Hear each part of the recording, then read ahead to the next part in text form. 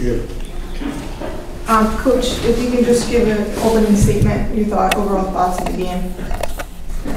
Yeah, I'm uh, impressed with our team's resiliency. I thought we didn't give up. Um, you know, that's been our MO all year. It doesn't matter if we're up or we're down, um, we're going to be competitive to the end. And, and I thought winning the fourth quarter, you know, 16 14, um, was really a testament to how much we, we just wouldn't stop, we wouldn't quit, uh, we wouldn't give up. So I, um, I'm proud of my group for doing that.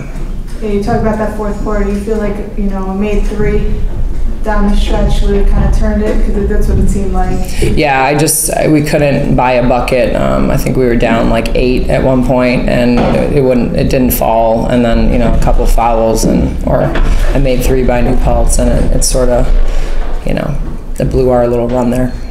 Um, you guys had such a dominant game the last time you guys played. Um, what did you see from them, them differently, and what was the difference? Yeah, I'm- I mean, I think at our place, um, we just rebounded so well. I mean, we O-boarded the ball um, and got offensive rebounds. I mean, I think we got more than 50% of our misses back at our place. Um, I thought we took care of the ball better. Um, you know, I thought tonight we turned it over early. Um, Lindsay, not that you didn't have an awesome game, you did 15 and 9. Um, the last time you guys played, you got 24 and 19. Um, just tell me the difference between that game and this game in your perspective. Um, honestly, I think we just came out with a better start at home, more comfortable being at home. So when we came out here, we put ourselves in a hole, and it's hard to come back from. Um, and just overall, you know, awesome career, you know, awesome season. Just talk about just your experience at Brockport. Um, my experience has been amazing at Brockport. The coaching staff, the teammates, um, everybody.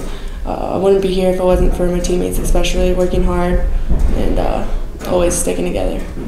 And coach, just talk about what she has meant to your program. Right, um, and I just said it to our team. I mean, we, we talk about three things, um, and resiliency is one, and tough, competitive, and that's what Lindsay is. I mean, she embodies uh, what our program's about, and, and she is our program. So she comes with, you know, a work ethic like no other. It doesn't matter if it's practice, a walkthrough, or, or a game. Um, she's always going 110%. She loves basketball. She has a passion for the game, and, and just loves being on the court. So. Um, we're going to miss that about her, but that's what she's going to leave behind. Yeah. Thank you, coach. Okay, thanks. Yeah.